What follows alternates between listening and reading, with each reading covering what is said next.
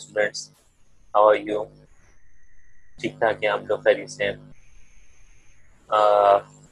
now move to the next topic last time हमने topic अपना discuss किया था method of collection of family data ठीक है ना? तो आज जो है, हम उसके बाद इसमें नेक्स्ट टॉपिक में मूव कर रहे हैं। नेक्स्ट टॉपिक जो हमारा था, वो हमने उसमें, अगर आपको याद हो, कि मैंने आपको एक बात बोली थी कि टॉपिक में मेथड ऑफ़ कलेक्शन में हमारे पास एक टॉपिक आया था कि हम जो है वो क्वेश्चन बनाते हैं और क्वेश्चन के हिसाब से हम क्या करते हैं उसको आगे फर्दर डिस्कस करते हैं। ठीक है ना? तो अब क्वेश्चन क्या है? मैंने आपको बताया था कि क्वेश्चन जो है वो हम डिस्कस करेंगे अपने नेक्स्ट क्लास के अंदर। और फिर उसके बाद फिर आपने अपने ऐसे लोग में देखिएगा, अपने कोर्स में देखिएगा तमाम लोग, जो कराची बोर्ड के हैं, वो अपने कोर्स में देखेंगे और जो भी अपना ओ लेवल और अपना ये खान बोर्ड के हैं, ये अपने ऐसे लोग के अंदर देखेंगे कि कोर्स के अंदर आपके टॉपिक इन्वॉल्व है कौन सा? कि what are question and explain it ठीक है ना? तो आप क्या करें? क्वेश्चन को बताएँ क्वेश्चन है क्या? तो आज का टॉपिक जो है वो हम थोड़ा डिस्कस करेंगे क्वेश्चन के हवाले से। तो सबसे पहले आप मुझे बात बताएँ कि क्वेश्चन है क्या? क्या बताया था मैंने वहाँ पे अपनी लास्ट क्लास के अंदर क्वेश्चन के बारे में? हमने टॉपिक डिस्कस किया था क्वेश्चन के बारे में। और क्वेश्चन के को थोड़ा थोड़ा सा मैंने डिस्कस ये भी किया था कि क्वेश्चन क्या होता है। जरा सोचें उस बात को। क्वेश्चन जो है, वो एक ऐसी कंडीशन होती है जहाँ पे हमारे पास एक लिस्ट ऑफ़ क्वेश्चन के होते हैं। एक लिस्ट किसके होती है? क्वेश्चन की होती हैं, ठीक है ना? अब उन तमाम लिस्ट पे जो तमाम क्वेश्चन आ गए तो वो सारे क्या कहलाते हैं? क्वेश्चन कहलाते हैं, ठीक है? जो कि सर्वे फॉर्म के लिए यूज़ होते हैं। सर, अमूमन सर्वे फॉर्म के लिए यूज़ होते हैं ये। मतलब आपको कोई अगर डेटा के बारे में मालूम करना है मार्केट में तो आप इसको बाय मेल भी कर सकते हैं गूगल फॉर्म के थ्रू और बहुत सारे अब तो बहुत सारी चीज़ें आ, गई मार्केट के अंदर जिसमें आप गूगल फॉर्म से बना के और जो है वो अपने अपने कोलीग्स को अपने फ्रेंड्स को अपने टीचर्स को अपने फादर्स एंड मदर्स को इन सबको लिंक सेंड करते हैं और बोलते हैं कि आप इसको फिल आउट करें और फिल आउट करके मुझे दें मुझे सबमिट करवाना है। अच्छा सबमिशन की जहाँ बात आई कमीशन तो ये आपकी यूनिवर्सिटी के अंदर होगी। यानी मतलब ये जो है कि जो आप सीख रहे हैं आज, ये आपके कोर्स में तो है। वो क्यों है? क्योंकि आपको नेक्स्ट ईयर जो है इनशाला आपको नेक्स्ट ईयर जो है, वो आपको यूनिवर्सिटी के अंदर जाना है और जो यूनिवर्सिटी के अंदर जब जाओगे तो वहाँ पे आपको ये बहुत काम देगा, ये वाला टॉपिक क्वेश्चन एयर का। ठीक है ना? तो क्वेश्चन एयर का टॉपिक जो है, वो डिज़ाइन किया हमने तकरीबन। तो अब देखते हैं इसमें है क्या क्या चीज़ें ना? Now, you have to set that के questionnaire concepts involve the consideration of the following points. इन तमाम पॉइंट्स पे ये फोकस करता है। पॉइंट टू पॉइंट देखते हैं पहले पॉइंट क्या पहला फ़र्स्ट पॉइंट है preliminary decision question contents question wordings response format response format and then उसके बाद फिर आपके पास आता है क्वेश्चन सीक्वेंस नेक्स्ट आता है क्वेश्चन लेआउट क्या होती है इसकी? And last one is thing is pre test ठीक है? तो ये सारी वो कंडीशंस थी जो हमारे पास यहाँ पे इन्वॉल्व हैं, इसके अंदर हमारे क्वेश्चन के टॉपिक के अंदर। अब वन बाय वन डिस्कस करते हैं इसको। हमने टोटल देखा कितने टाइप्स थे हमारे पास। सेवन टू एट टाइप्स थी। सिक्स टू सेवन टाइप्स थे हमारे पास। तो इसको डिस्कस करते हैं। तो सबसे पहले मैं आता हूँ इसके ऊपर? प्रिलिमिनरी डिसीज़न पे आता हूँ। ये है क्या? प्रिलिमिनरी डिसीज़न है क्या? एक दफ़ा आप इसको पढ़ लें रीड कर लें ताकि आपको थोड़ा सा आइडिया हो जाए कि आप जो काम कर रहे हैं, वो काम जो है वो वो भी रहे कि नहीं। मैं आप इसको रीड कर लें वन बाय वन क्या कह रहा है? The type of information required जो बेसिक चीज़ है ना क्वेश्चन बनाने के लिए आपको मालूम होनी चाहिए कि आपको करना क्या है स्टेपिंग क्या है। क्वेश्चन बनाने के लिए सबसे पहले हमें ये पता लग होना चाहिए कि हमारे इंफॉर्मेशन जो है, वो हमारी इंफॉर्मेशन किस चीज़ पे बेस करती है। यानी मैं अगर क्वेश्चन पूछूँ तो मैं पूछूँ तो किस हवाले से पूछना है मुझे? मतलब मुझे जो टारगेट मिला, मुझे जो रिसर्च के लिए टॉपिक मिला मैं उस टॉपिक को कंसिडर करूँगा ना। मैं उसके हिसाब से क्वेश्चन बनाऊँगा। तो first point is that the types of information required कि आपको क्या क्या चीज़ें रिक्वायर्ड है। ठीक है क्वेश्चन आपको पूछने हैं किस किस तरह से पूछने हैं क्या क्या सवाल करने हैं, आपका टॉपिक जो है वो ये है, ये बाउंड्रीज है आपकी। Second point the respondents who can answer the questions ऐसे क्वेश्चंस बनाने चाहिए कि मतलब कि अगला जो है वो उसका जवाब दे सके। मतलब आपका क्वेश्चन कोई ऐसा क्वेश्चन नहीं होना चाहिए कि मतलब आपने उससे उसके बारे में ऐसा कुछ पूछ दिया कि वो उसका आंसर ही नहीं दे सकता, वो उसका आंसर दे मतलब देना ही नहीं चाहता। ठीक है ना? तो मतलब बहुत सारी चीज़ें ऐसी होती हैं जिसका आंसर जो है वो अमूमन नहीं दिया जाता। जैसे कि मैं अगर किसी बंदे से पूछूँ कि यार तुम्हारी सैलरी क्या है?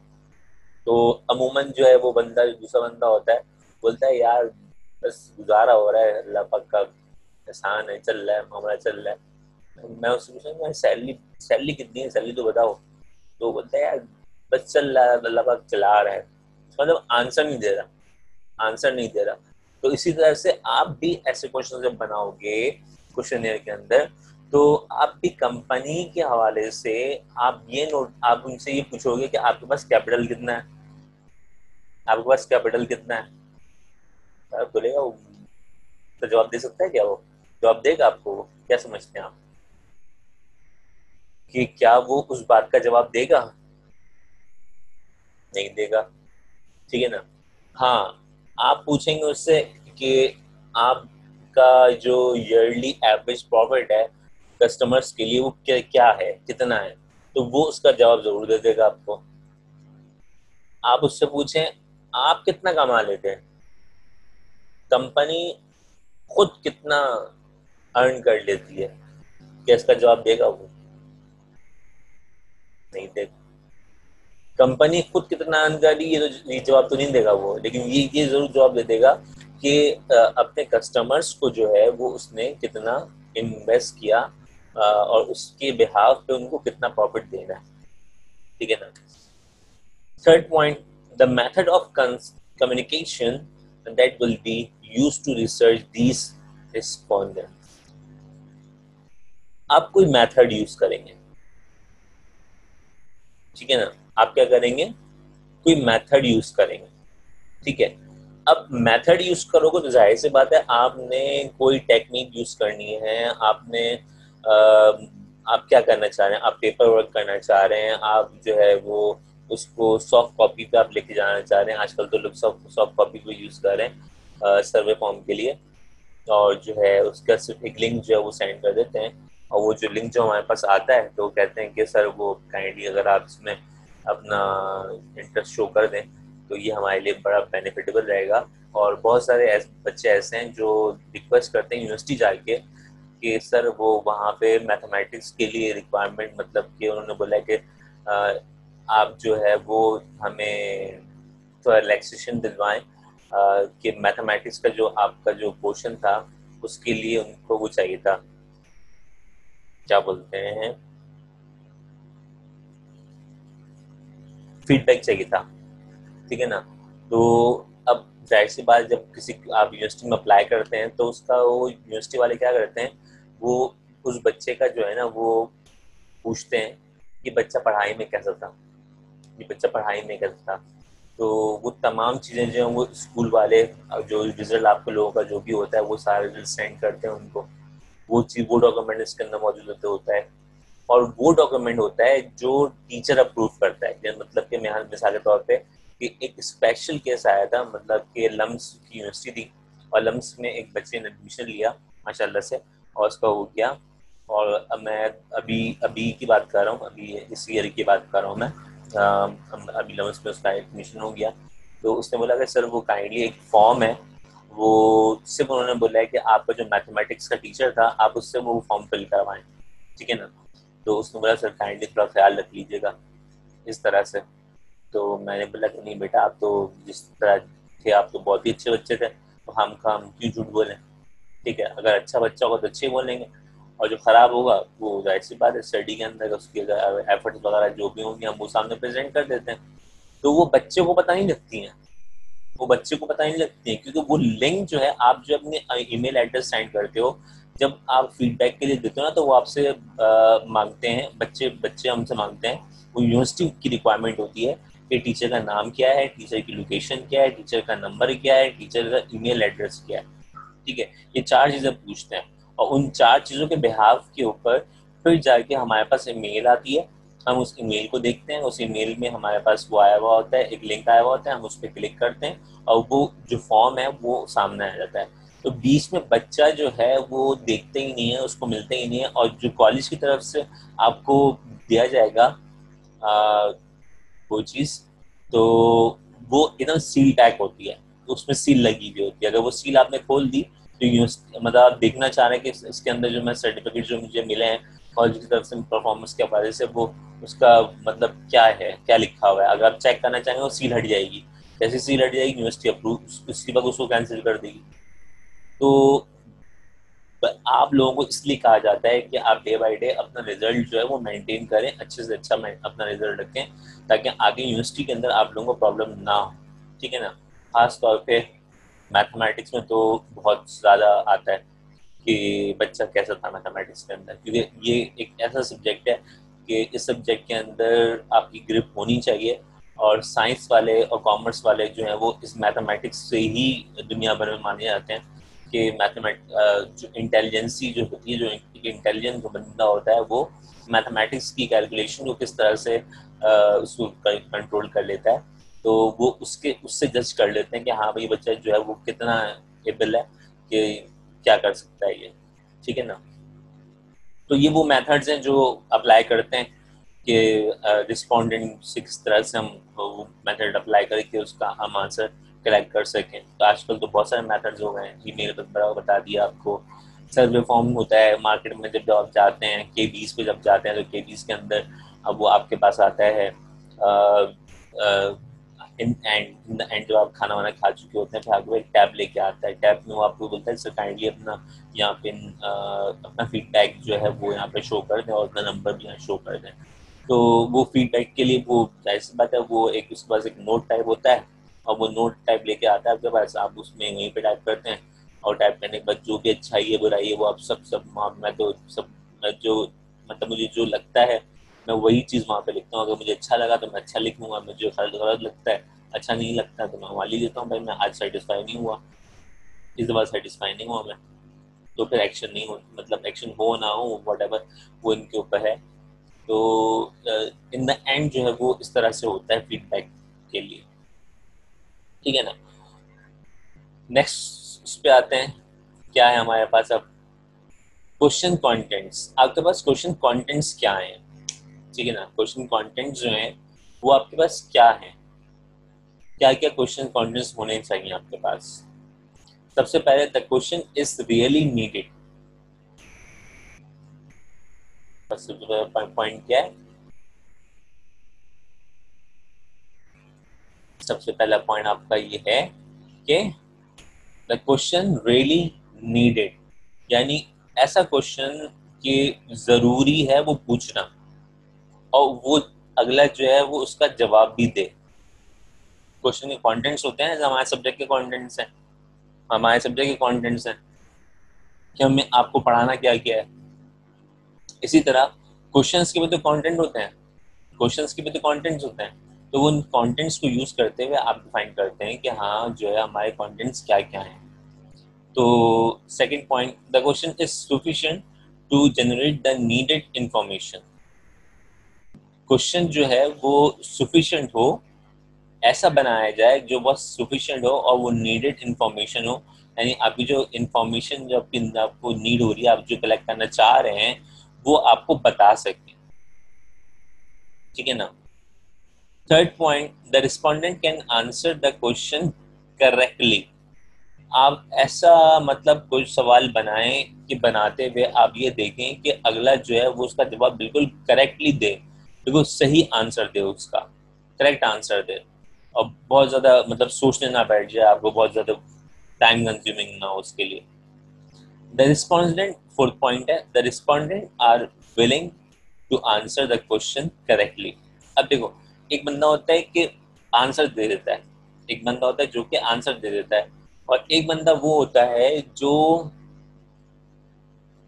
चाहता है कि ये आंसर दे। ठीक है ना? अब मिसाल के तौर पे एक आपने कहा आप एज अ मतलब सर्वे फॉर्म के लिए गए हैं आप जा रहे हैं आपने कहा कि आपका आ, मतलब कि आपकी कंपनी के अंदर मतलब आपको किस किस्म के मसले आते हैं? आपको किस किस्म के मसले आते हैं? तो उसमें शायद कम जो वहाँ जहाँ पे आप जा रहे हो इन्फॉर्मेशन लेने के लिए जहाँ पे जा रहे हो तो वो पूरा एक्सप्लेन करने नहीं बैठेगा उसके पास इतना टाइम नहीं होता ठीक है ना? वो आपको एक्सप्लेन करने नहीं बैठेगा। मतलब कि उसको क्या क्या इन्फॉर्म मतलब प्रॉब्लम आती है क्या क्या प्रॉब्लम वो फेस करता है। लेकिन अगले पॉइंट के अंदर विलिंग टू द आंसर वो चाहता है कि आंसर दे। अब वो क्या चाहेगा? अपनी कंपनी को प्रमोट करना चाहेगा। वो क्या चाहेगा?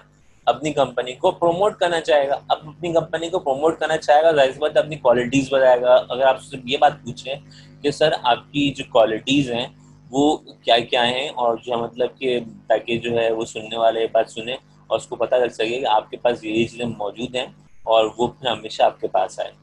तो वो ज़ाहिर सी बात है फिर वो अपनी इंफॉर्मेशन जितनी देगा जितना अपना पॉजिटिव बताएगा तो फिर वहाँ से क्या होगा कि उसकी बिलिंग जो है वो बता, बना बताना चाहेगा। वो एक्स्ट्रा टाइम देगा उसके ऊपर उसके ऊपर एक्स्ट्रा आपको बताएगा क्लियर करेगा उस पॉइंट पे और बोलेगा कि अपने फ्रेंड्स को जो है उस तरह से बताएँ अपने पुलिस को बताएँ अपने जो आपके मतलब बहुत सारे लोग हैं जो आपके कांटेक्ट में हैं आप उनको बताएँ। तो ये ये हमारे बेनिफिट्स हैं ये हमारे प्रॉफिट्स हैं। आप हमारे अकाउंट अगर बैंक बैंक से बात करें तो बैंक वाले अपने पॉजिटिव थिंकिंग बहुत ज़्यादा बयान कर, कर रहे होते हैं। हर कंपनी करती है ज़रूरी नहीं बैंक करती हो हर कंपनी ही करती है। कि अपने, अपनी अपनी पॉजिटिविटी है, जो वो है, वो ज़्यादा ज़्यादा बहन करती है।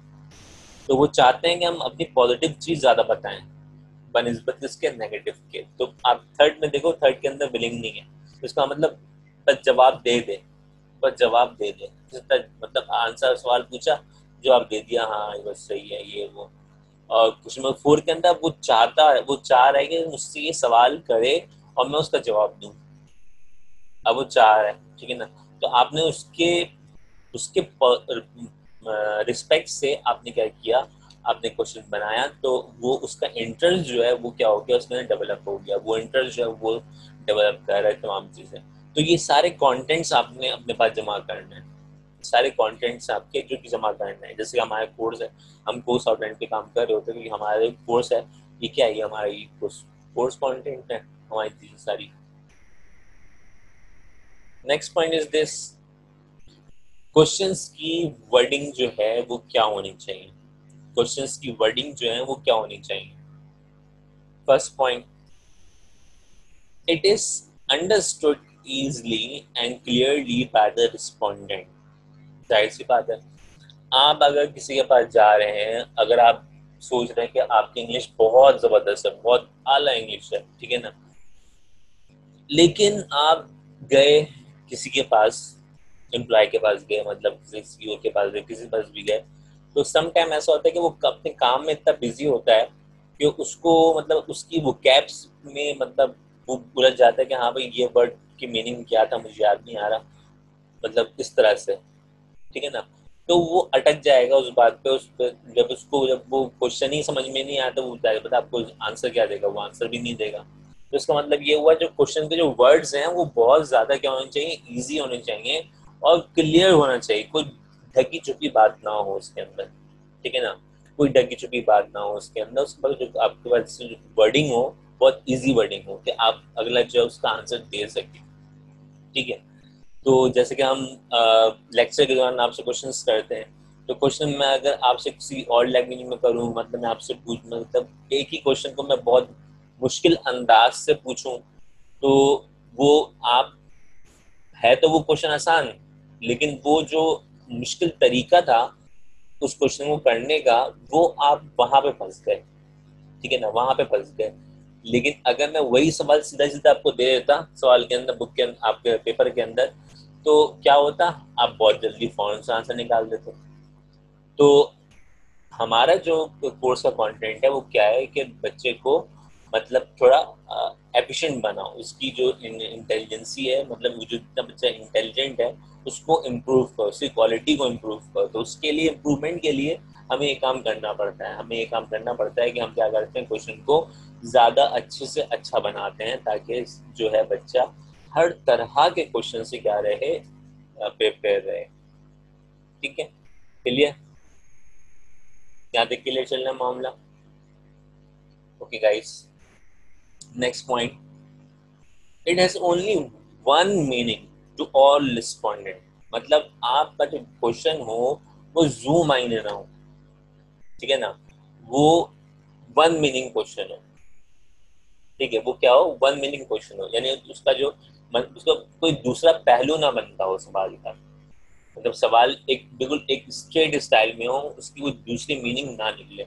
है ना जब कुछ लोग बोलते हैं मतलब बात करते हुए उनके एक अंदाज होता है कि वो कुछ बातें ऐसी कर जाते हैं कि जूम आइन हो जाती हैं वो डबल मीनिंग बातें हो जाती हैं वो मतलब आप अगर आप चाहें उसको पॉजिटिव लें आप चाहें उसको नेगेटिव लें तो वो आ, वो क्या हो जाता है वो आपका मल्टीपल टाइप्स ऑफ़ कुछ आप जो कह सकते हो क्या वर्डिंग यूज़ कर रहे हैं उसके अंदर। तो ऐसा कुछ ना हो ऐसा कुछ ना हो उसके अंदर ठीक है? एनी प्रॉब्लम इन है ठीक है? यहाँ तक बात क्लियर हो गई कि जो मीनिंग होनी चाहिए, वो क्या होनी चाहिए? आपकी सिंगल मीनिंग होनी चाहिए, उसके अंदर कोई डबल मीनिंग नहीं हो। ठीक है? नेक्स्ट पॉइंट देखते हैं। ज़ाहिर सी बात है, अगर वन मीनिंग है तो बाइसनेस तो होगी नहीं। है ना? बाइसनेस तो होगी नहीं। बाइसनेस कब होती? जब डबल मीनिंग होती। बाइसनेस जब आती है, जब डबल मीनिंग होती है ना, तब आती है। जब वन मीनिंग है तो उसका मतलब क्या हो गया कि टॉपिक जो है, वो आपका बाइस जो है, वो नहीं होगा। अनबाइस कर लें नॉट बाइस कर लें, कुछ भी कह लें इसको आप। ठीक है? क्लियर है? यहाँ तक। Okay response format response format क्या है? अब जरा ये सोचो।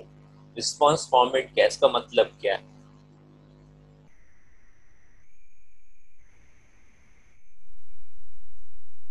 क्या होना चाहिए इसका मतलब? रिस्पॉन्स फॉर्मेट का? Open end question which leave the respondent free to offer any reply. ठीक है ना? ओपन एंड क्वेश्चन हो। ताकि जो अगला जो है, वो फ्रीली उसका क्या कर सके, उसका रिप्लाई कर सके। मतलब कि आपने कुछ ऐसा पूछा, बहुत आराम से, बहुत तरीके से पूछा, और जो है, बहुत आपने ओपनली जो हम डिस्कशन कर रहे होते हैं तो हम ओपनली मतलब मैं मैं कोई क्लास कंडक्ट करने जाता हूँ कहीं पे, या मैं खुद एज अ पढ़ने के लिए कहीं जाता हूँ अगर तो मैं ओपनली क्वेश्चन करता हूँ। मतलब कि चाहे जितने भी लोग बैठे हुए हों मतलब मुझे उस बात से कोई बात नहीं है मतलब मुझे समझ में एक चीज़ नहीं आई है। तो मैं उसको क्लियर करता हूँ, मैं बोलता हूँ कि, सर, मुझे बताएँ, यहाँ पे ये प्रॉब्लम आई, वो क्या होगा? इसका इसका कंडीशन में क्या होगा? इस फेस में क्या होगा? तो तो यहाँ पर भी जो रिस्पॉन्ड फॉर्मेट है, वो क्या है कि आप जो है एक ऐसा क्वेश्चन बनाएँ कि वो इजीली उसका आंसर दे और वो ओपन एंडेड क्वेश्चन हो। मतलब आप फ्रीली वो उसका जवाब दे सकें। ठीक है ना? कोई उसको घबराहट ना हो मतलब अगला जो है वो ये ना पूछ ले मतलब अगला जो है वो कंफ्यूज ना हो जाए। ठीक है ना? वो आपको आंसर ही ना दे पाए उस चीज़ का। सबसे अच्छा होता है true false questions true false question ठीक है? यस नो कह लें ट्रू फॉल्स कह लें, एक ही बात है। जो स्टेटमेंट कही, वो यस और नो होगी या फिर ट्रू फॉल्स हो जाए क्वेश्चन मतलब इससे इससे क्या चीज़ सामने आई? इससे क्या चीज़ सामने आई? मल्टीपल चॉइस क्वेश्चन होने चाहिए उसके पास। एमसीक्यूज टाइप मतलब पूरा ऑप्शन आपने दिए टू ऑप्शन दे दिए आपने। थ्री ऑप्शन दे दिया आपने, आप बच्चा, आप क्लिक क्लिक करें उसको। कुछ टाइप ना करना पड़े, कुछ टाइप ना करना पड़े उसको। ठीक है ना? कुछ टाइप ना करना पड़े, कुछ एक्सप्लेन ना करना पड़े मतलब जो आपका रिस्पॉन्ड फॉर्मेट होगा, वो क्या होगा? एक ऐसा होगा कि आप इस तरह के क्वेश्चन बनाएँ कि वो उसको बहुत मतलब कि ट्रू फॉल्स क्वेश्चन के अंदर हो मल्टीपल चॉइस के अंदर हो मतलब कुछ आपने क्वेश्चन ऐसा पूछा, उसके अंदर आपने उसकी चॉइसेस रख दी ठीक है ना? तो वो अपने एंड पे देख रहा होगा कि हाँ जो है मुझे टॉपिक जो है वो किस रैंक किस रैंक पे करना है। आपने उसको ज़ीरो से लेके टेन तक का कर दिया। अब वो बोल रहा है कि मैं मैं इस बात से इतफाक करता हूँ। कितना इत्तेफाक करता हूँ, किस बात से कितना इतफाक करता हूँ तो वो मार्किंग कहाँ से, कहाँ तक की करेगा, वो सेवन भी कर सकता है, वो एट भी कर सकता है, वो टेन भी कर सकता है, वो ज़ीरो भी कर सकता है, वो ज़ीरो भी कर सकता है कि मैं अगर इतफाक नहीं करता मतलब कि अगर कोई बच्चा अगर मैं, मुझसे कोई मेरे पास जब सर्वे फॉर्म आता है तो एक दफ़ा सर्वे फॉर्म आया था उसके अंदर तो पूछा गया कि आप इस बच्चे को किस मार्किंग पे आप देख, देखते हैं? आप इस बच्चे को किस मार्किंग का आप देखते हैं चेक करते हैं आप उसको। तो मैंने उसको जो रैंक दिया, मैंने उसको टू रैंक दिया।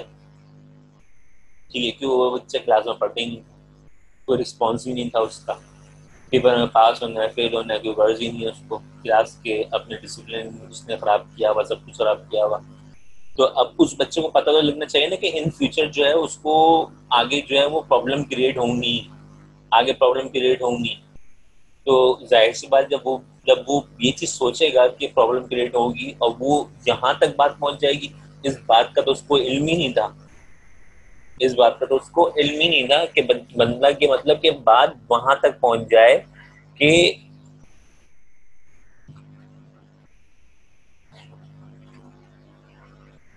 जी बात वहाँ तक पहुँच जाए कि मतलब कि टीचर से इन्होंने कांटेक्ट कर लिया। और टीचर मतलब बच्चे को पता भी नहीं। और फिर वहाँ पे उसका एडमिशन क्या हो जाए रिफ्यूज हो जाए। क्या भाई अब जो है वो उसका एडमिशन तो नहीं हो सकता है यहाँ पे इस जगह पे। कि ये जो है वो मतलब एक स्कूल के अंदर एक डिस्टर्बेंस क्रिएट करने वाला बच्चा है। ये बच्चा जो है वो इस तरह का बच्चा है जो पढ़ता नहीं है एक्टिव नहीं रहता आ, स्लो है बहुत। बहुत सारी चीज़ें होती हैं जो यहाँ पास आती हैं फॉर्म के लिए। तो आई होप आप समझ गए होंगे जो मैं कहना चाहता हूँ। ठीक है, आगे देखते हैं। क्वेश्चन सीक्वेंस क्वेश्चन सीक्वेंस क्या होती है? सीक्वेंस होनी चाहिए ना? क्वेश्चन की सीक्वेंस क्या होगी?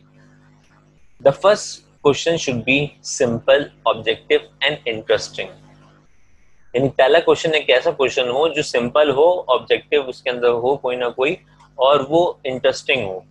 अब ज़ाहिर सी बात है जब अगर हम गूगल फॉर्म पे अगर फॉर्म फिल करना बैठ रहे हैं आ, मतलब कि आपका सर्वे फॉर्म फिल कर रहे हैं तो अगर मुझे पहले ही पॉइंट में लगेगा कि इतना मुश्किल मतलब इसने गूगल फॉर्म बनाया है चलो छोड़ो दफ़ा करो मतलब उसको रिस्पॉन्स करना ही नहीं है वहीं से फ़ोन उसको क्या कर देते हैं क्विट कर देते हैं।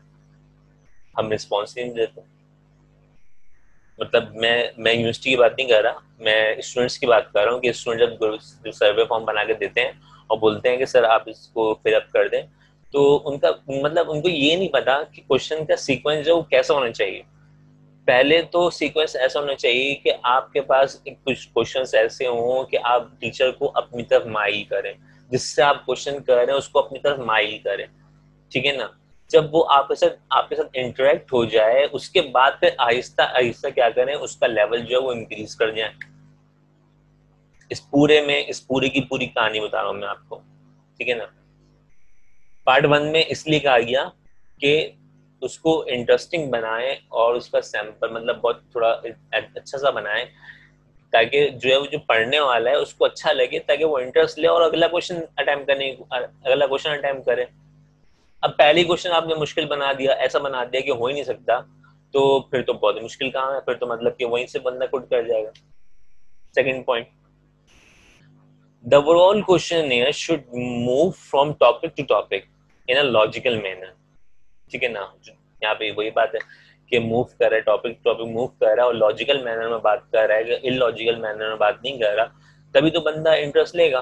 लेकिन अगर इलॉजिकल चला जाएगा अपोजिट चला जाएगा, चीज़ों को नेगेटिव में लेके चला जाएगा बहुत ज़्यादा तो फिर उसका मतलब वो इंटरेस्ट लेगा ही नहीं, कभी नहीं लेगा interest initial question should be avoid providing biased frame और रेफरेंसेस ठीक है ना? जो इनिशियल क्वेश्चंस होते हैं, उस पर अवॉइड करना चाहिए कि कोई बाइजनेस ना हो और कोई रेफरेंस ना हो। ठीक है ना? मतलब कि किसी किस्म का कोई रेफरेंस ना दिया जाए। आप उससे इनिशियल लेवल पे ये बात नहीं करें। इन द एंड आप ये कह दें, आप रेफरेंस के तौर पे कह सकते हैं कि हाँ मैं मैं इस रेफरेंस से बात करना चाह रहा हूँ। मैं आपसे इसके थ्रू बात करना चाह रहा हूँ, इस चैनल के थ्रू बात करना चाह रहा हूँ मैं। तो वो आप इन द एंड कह दें तो ये अगर शुरू में आपने कह दिया तो वो बात जो है वो वहीं पे खत्म हो जाएगी। क्या पता क्या पता कि जिसका आप रेफरेंस दे रहे हैं, जिस चीज़ का आप रेफरेंस दे रहे हैं, अगला जो है वो पसंद ही नहीं करता उस चीज़ को। तो वो वहीं पे क्या कर देगा? क्विट कर देगा। खत्म। गया गूगल फॉर्म कहाँ गया? फिलअप नहीं हुआ आपका सबमिट ही नहीं होगा। क्वेश्चन। ठीक है? क्वेश्चन है लेआउट क्वेश्चन लेआउट क्या है? The physical characteristic question should be design to make it easy to use मुश्किल बात नहीं है कोई। कि आप जो है वो इस तरह डिज़ाइन करें फ़िज़िकल कैरेक्टरिस्टिक्स इस तरह से डिज़ाइन करें आप, कि वो बहुत इजी इजीली यूज़ हो जाए। The minimise the it minimise the possibility of recording mistakes sometime जो है वो रिकॉर्डिंग बेस्ड भी होता है क्वेश्चन जो होता है सर्वे फॉर्म जो होता है वो समटाइम आपका क्या होता है रिकॉर्डिंग वाइज भी होता है। तो आप वो रिकॉर्डिंग सुनते हैं और फिर रिकॉर्डिंग सुनने के बाद जो है वो आप उस पर मार्किंग कर रहे होते हैं। आपके पास पेपर हाथ में होता है, आपके पास प्रिंट आउट वो आपको सॉफ्ट कॉपी देते हैं और फिर वहाँ पे आपको कहते हैं आप इसको सुने और फिर इस पर मार्क करते जाएँ। जैसे लिसनिंग के अंदर होता है, उस तरह से यहाँ पे भी होता है। क्वेश्चन के अंदर भी होता है। It avoid confusion to the respondent while answer the question. अवॉइड करें कंफ्यूज करने से कि जो रिस्पोंडेंट है, वो, जो रिस्पोंडेंट है, वो कंफ्यूज ना हो। मतलब आप उसको मतलब कंफ्यूज होने ना दें। मतलब ऐसे क्वेश्चन आप उनसे पूछें कि वो कंफ्यूज ना हो। क्योंकि जैसे ही बंदा कंफ्यूज होगा, वो आपसे फ़ौरन डिस्कनेक्ट हो जाएगा। जैसे ही बंदा कंफ्यूज होगा वो आपसे फ़ौरन क्या हो जाएगा? डिस्कनेक्ट हो जाएगा। जब मेरी बात आपको समझ में आएगी नहीं तो आप क्या करोगे? आप डिस्कनेक्ट हो जाओगे, लेकिन आपकी अगर मेरी बात आपको समझ में आ रही है तो आप बहुत लंबा लेक्चर लेके बैठ सकते हो। समटाइम हम बहुत सारी वीडियोस देख रहे होते हैं। मतलब मैं अगर बात करूँ अपने कोर्स के हवाले से, अपने प्रोफेशन के हवाले से तो मेरे प्रोफेशन के अंदर बहुत सारी वीडियोस ऐसी हैं सेमिनार्स ऐसे हैं तो दो दो तीन तीन आवर्स के टू टू और थ्री थ्री आवर्स के होते हैं। तो वो सेमिनार्स ऐसे होते हैं कि अभी भी एक चल रहा है हमारा।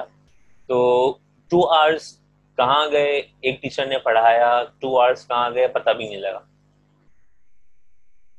ठीक है ना? तो वो इंटरेस्ट की बात होती है ना। क्योंकि वो अगला जो आपको कंफ्यूज नहीं कर रहा वो आपको बहुत अच्छे तरीके से लेके चल रहा है। वो आपको कहीं पे फंसा नहीं रहा, वो कहीं पे आपको बहुत फ्री हैंड दे रहा है, आपको हर चीज़ दे रहा है। तो आप उसके साथ ज़्यादा, मेरे ख्याल से ज़्यादा कंफर्टेबल फील करते हैं। तो ये हिसाब मेरा भी है। मैं जब अभी कोई सेशन अगर लेता हूँ तो ज़ाहिर सी बात है मैं हर मतलब हर किसी को जो है वो उसकी वीडियो जो है मैं नहीं देखता। आ, लेकिन जो वीडियोस मुझे अच्छी लगती हैं मैं अपने प्रोफेशन के हवाले से तो मैं उसकी टू टू आवर्स की जो थ्री थ्री आवर्स की वीडियोज़ है मैं वो देखता हूँ। और जो है बहुत कुछ लर्निंग के लिए आता है क्योंकि इंसान ज़िंदगी में ज़िंदगी भर सीखता रहता है। लर्निंग का प्रोसीजर जो वो कहीं पर भी खत्म नहीं होता। ठीक है? लास्ट के ऊपर आते हैं प्री टेस्ट पे, उसके बाद फिर इसको फाइनल करते हैं। लास्ट फ्री कहता है the final question is subjected through pre test ठीक है ना? The final question is subjected through pre test pre test का मतलब क्या होता है? प्री टेस्ट का मतलब क्या होता है?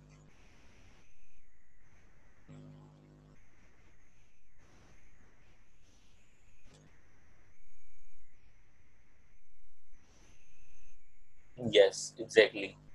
The final question is subjected through pre-test. मतलब इसका मतलब ये हुआ कि आखिरी क्वेश्चन ऐसा हो, जो पूरे क्वेश्चन को क्या कर दे समराइज कर दे और मतलब कि बिल्कुल इन द एंड आखिरी पॉइंट ये कह दे कि हाँ भाई, आखिरी रिज़ल्ट जो आया वो ये रिज़ल्ट आया। ठीक है ना? ये रिज़ल्ट इसका है, जो मेरा मकसद था, सर्वे फॉर्म का, वो ये मकसद था, उस हवाले से क्या हो गया, वो कंप्लीट हो गया। ठीक है ना? तो इनशाला नेक्स्ट टॉपिक में मिलते हैं। जब तक के लिए अपना बहुत ज़्यादा ख्याल रखिएगा, ठीक है? तो हमारा आज का टॉपिक था क्वेश्चन का और क्वेश्चन को हमने हर टाइप से मतलब जितनी भी टाइप से हमने तमाम की तमाम क्या कर ली? डिस्कस कर ली, ठीक है? तो फिर इंशाल्लाह मिलते हैं अपने नेक्स्ट क्लास में। जब तक के लिए अपना बहुत ज़्यादा ख्याल रखिएगा बेटा, ठीक है? ओके टिल देन अल्लाह हाफिज़।